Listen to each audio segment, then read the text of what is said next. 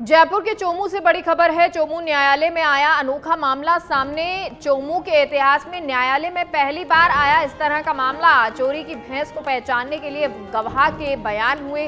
करीब 10 साल पहले हरमाड़ा पुलिस थाने में दर्ज हुआ था चोरी का मामला और हरमाड़ा इलाके में तीन भैंस चोरी हुई थी। पुलिस ने दो भैंस बरामद कर मालिक को सुपुर्द कर दी। हालाँकि एक भैंस की भैंस की थोड़े दिन बाद ही मौत हो गई थी। न्यायालय ने बयान के लिए गवाह को तलब किया था।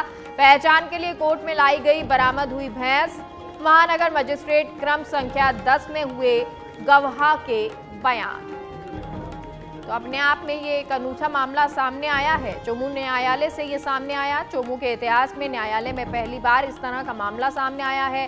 चोरी की भैंस को पहचानने को लेकर ये मामला है और हरमाड़ा इलाके से तीन भैंस चोरी हुई थी। पुलिस ने दो भैंस बरामद कर मालिक को सुपुर्द कर दी।